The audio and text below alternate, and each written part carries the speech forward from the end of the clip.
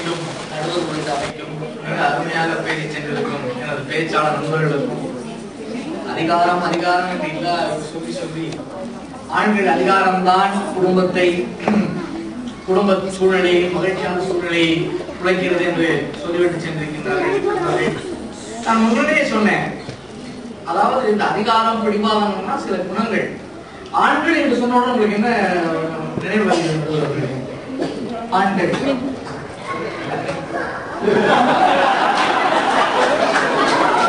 ஆளுமை தன்மை இல்லையா ஆளுமை வெளியே வெளியே ஆளுமை தன்மை பொருள் ஈட்டுதல் குடும்பத்திற்கு மூளையாக இருத்தல் குடும்பத்துடைய பொருளாதாரத்தை வளர்த்துதல் ஆண்களுடைய தன்மைகள் பெண்கள் வீட்டின் கண்கள் பெண்கள் மென்மையானவர்கள் அவங்க எல்லாத்தையும் சொல்லிட்டாங்க பெண்களுடைய எல்லா பெருமைகளையும் சொல்லிவிட்டார்கள் அந்த பெருமைகளை எல்லாம் நாங்கள் ஒத்துக்கொள்கிறோம் அந்த பெருமைகள் தொடர வேண்டும். அந்த பெருமைகள் தொடர்ந்தால் தான் நமது குடும்பங்கள் இன்னும் மகிழ்ச்சியாக இருக்கும். தோல்வி தோல்வி சமூகம் இன்னொரு கருத்தையும் நம்ம எல்லாம் ஒத்துக்கொள்ள வேண்டும். நூறு திருமணங்களை எத்தனை திருமணங்கள் தோல்வி அடைகின்றன இந்தியாவை பொறுத்தவரை மூன்று சதவீதம். சிங்கப்பூர்லையும் ஏறக்குறைய அதே சதவீதம் தான். இந்த இரண்டுலையும் தான் இந்தியாவில் மிக அதிகமாக இருக்கிறது என்று எடுத்துக்கொள்ளலாம். தொண்ணூத்தி ஏழு சதவீத குடும்பங்கள் சென்று கொண்டே இருக்கின்றன. அதுல ஒரு பதினைந்து இருபது குடும்பங்கள்ல மன மனமுறிவு மனமுறிவு இருந்தால் கூட அந்த குடும்பத்தை ஓட்டி கொண்டுதான் இருக்கிறார் இந்த மூன்று விழுக்காடு மனமுறிவுகள் என்பது கூடுதல். ஏன்னா எழுபது எண்பதுகளில் ஒப்பிடும்போது தொண்ணூறுகளில் ஒப்பிடுகின்ற பொழுது இரண்டாயிரத்தி ஆண்டுல இரண்டு மடங்காக உயர்ந்திருக்கிறது. ஒன்றரை சதவீதம் ஒரு சதவீதம் ஒன்றரை சதவீதம் அந்த மன முறிவுகள் நான் சொல்றது அல்டிமேட் டைவர்ஸ் கடைசியாக வாழவே முடியாது என்று முடித்துக் கொண்டு போனது. தொண்ணூறையும் இரண்டாயிரத்தையும் ஒப்பிட்டு பார்க்கையில் இரண்டாயிரத்தில் அதிகம். இதெல்லாம் என்னத்தை காமிக்கிறது திருப்பி அடிப்படை காரணம் இருக்க வேண்டும் அடிப்படை கூறுகள் இருக்க வேண்டும். அந்த அடிப்படை காரணங்களையும் கூறுகளையும் நான் பட்டியலிட்டு சொல்லிவிட்டேன். கல்வியறிவு வளர்ந்திருக்கிறது பொருளாதாரத்தில் வளர்ச்சி கண்டிருக்கின்றார்கள் வேலைக்கு செல்கின்றார்கள் பலவற்றையும் பார்க்கின்றார்கள். அதனால் அவர்கள் என்ன வந்திருக்கணும்னா இந்த குடும்பத்தை இன்னும் சிறப்பாக கொண்டு செல்லக்கூடிய தன்மை வந்திருக்கணும் நான் சொல்றது இந்த பிடிவாத குணமுடைய பெண்களை. இந்த குடும்பங்களை எல்லாத்தையும் திருப்பி திருப்பி பணம் ரொம்ப இறுக்கமாக ஆகிவிட்டார்கள் பெண்கள். ஆண்களை பொறுத்தவரை அதிகாரம் இருந்தது இருந்ததா முன்னாடி இன்னைக்கு வந்து ஒரு இதுக்காக சொன்னேன். ஒரு நண்பர் வந்தார் ஊர்ல இருந்து அவருக்கு ஃபோன் பண்ணி என்னப்பா வந்துட்டியா வந்துட்டேன். எப்படி இருக்கேன்? நல்லா இருக்கேன். என்ன பண்றேன் காய் பண்ணிக்கிட்டு இருக்கேன். காய் அடிக்கிட்டு இருக்கேன். என்ன ஆச்சு? ஆச்சு இல்லையா? ஆச்சு வெளியே போயிருக்கேன். சரி வேலைக்கு போயிருப்பாங்க ஏதோ முக்கியமான வேலை போல இருக்கு. பண்ணதானே வேணும். இன்னைக்கு ஆண்கள் பண்றாங்கல்ல. இதெல்லாம் பண்றாங்க. வீட்டுல எல்லாரும் எல்லாருக்கும் ஒத்துழைக்கணும்ல. இதெல்லாம் இதெல்லாம் உண்மைதானே? அப்ப கேட்டேன் என்ன ஆச்சுன்னு? அவ வந்து அழகு போயிருக்காங்க பிள்ளைகள்லாம் எங்கிட்ட விட்டுட்டாங்க. இப்ப ஆண் அதிகாரம் நிக்கணும் நான் இங்கே? அந்த பெண்ணுடைய குறிப்பை கூட புரிந்து கொண்டு ஒத்துக்கொண்டு விட்டான். நான் பாத்துக்கிறேன் உள்ளே பாத்துக்கிறேன் நீ போயிட்டு வாமா எத்தனை பெண்கள் எத்தனை இன்றைய இளைய பெண்களை ஆண்கள் கல்யாணத்துக்கு போய் படிக்க வைத்துக் கொண்டிருக்கிறார்கள் ஒத்துக்கொள்கிறோம் அல்லவா?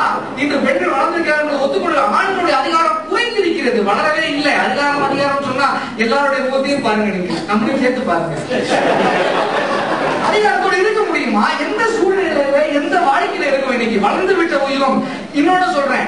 அறுபது எழுபது பிறந்தவர்களையோ இல்ல இடது வயது ஒருத்தவர்களையோ நான் குறிப்பிடவே இல்லை நாற்பது வயது எனக்கு நாற்பது வயது ஒன்று உங்களை கூட இல்லை இதைக்கெல்லாம் ஒத்துக்கொண்டு விட்டோம் குடும்பம் என்பதை புரிந்து கொண்டோம் இன்றைக்குள்ளே பேபி பூமர்ஸ் என்பார்கள் நம்ம நாற்பது வயதுக்கு மேற்பட்டவர்கள் பேபி பூமர்ஸ் அப்புறம் குழந்தைகளை பெற்றுக் கொள்ள வேண்டும். குடும்பம் இது. இப்ப generation X and Y X and Y என்பது என்ன என்று எந்த உளவியல் நிறுவனமான கேளுங்க இவங்களுக்கெல்லாம் இப்ப எஸ்எம்எஸ் இல்ல எல்லாமே டச் ஸ்கிரீனு இன்டர்நெட் தொழில்நுட்பங்கள் எல்லாம் மிக முக்கியமாகிவிட்டது. வாழ்க்கை இயந்திரமாக ஆகிவிட்டது. அதில் நமது பெண்களுடைய தன்மை மிக அதிகமாக மாறிவிட்டது. ஏன்னா எல்லாத்துலயும் சம உரிமை சம உரிமை சம உரிமை எல்லாம் சம எல்லாம் சரிங்க.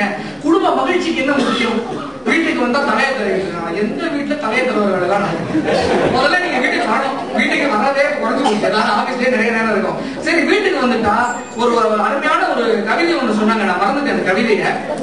கண்ணீர் துளி கூட மகிழ்ச்சியாக கூட கண்ணீர் கூட இனிக்க முடியுதாங்க இப்பெல்லாம் கண்ணீர்ல டிவியில தான் பார்க்க முடியுது. இந்தியா போனீங்கன்னா நகைச்சுவை எல்லா பட்டினத்தையும் சொல்றேன். எட்டுல இருந்து பத்து வரைக்கும் சாப்பாடு கூட கிடைக்காது. எந்த வீட்டுக்கு போனாலும். கோலங்கள் ஆரம்பிச்சு அது என்ன கடைசி சித்தியா? சித்தி வரைக்கும். சித்தி அதுக்கப்புறம் எல்லாம் அவ்வளவு தூரம் பெண்கள் மாறி விட்டார்கள் எல்லா வந்து மாட்டாங்க. கணவன் மூளையாகவும் மனைவி இதயம் நான் வந்து பார்க்கிறது தெரியும்